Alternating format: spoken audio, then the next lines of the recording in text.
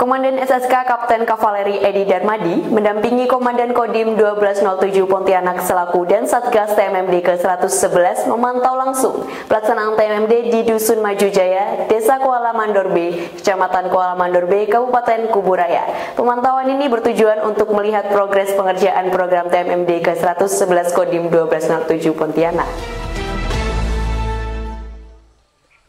Untuk mengetahui progres pengerjaan program TMMD ke-111 Kodim 1207 Pontianak yang berlangsung di Dusun Maju Jaya, Desa Kuala Mandor B, Kecamatan Kuala Mandor B, Kabupaten Kuburaya, dan SSK Kapten Edi Darmadi mendampingi Dadim 1207 Pontianak, Kolonel Infanteri Jajang Kurniawan SIPMM mengunjungi lokasi sasaran. Pemantauan kali ini juga memonitor perkembangan sasaran prioritas berupa pembangunan jalan rabata beton sepanjang 1100 meter yang membentang di Dusun Maju Jaya.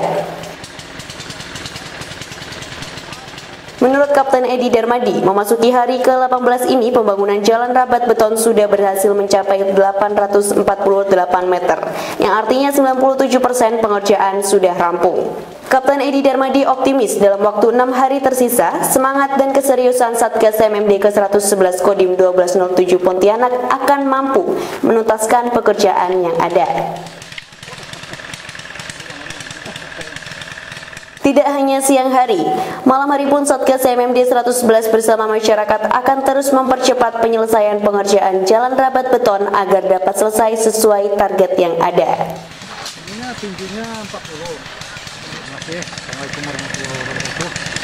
Uh, pada saat ini saya selaku dan Beska itu Kapten Kapal Tni Darmadi itu saat ini mendampingi uh, dan Satgas uh, TMMD reguler ke 111 Kodim 1207 DS eh, Pontianak yang saat ini berkunjung untuk melihat secara langsung uh, perolehan uh, sasaran fisik yang sudah dikerjakan sampai hari ke 18 ini.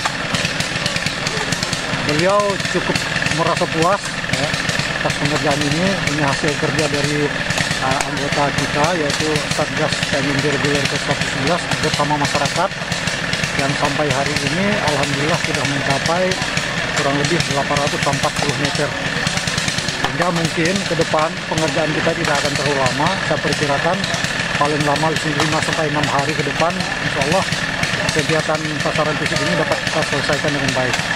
Apalagi antusias masyarakat ini kita tahu ya, hampir setiap hari siang dan malam uh, mereka ini uh, mengakui apa mau, mau bekerja gitu.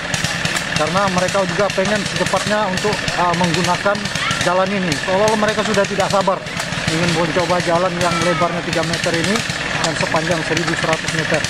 Karena selama ini jalan mereka itu uh, hanya ada tanah merah saja. Sekarang sudah uh, menggunakan rabat beton.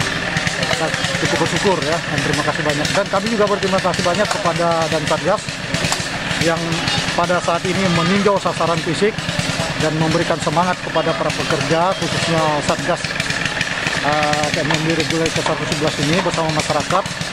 Dengan adanya kunjungan beliau ini, kami melihat uh, Satgas ini sangat bersemangat dan sangat berterima kasih.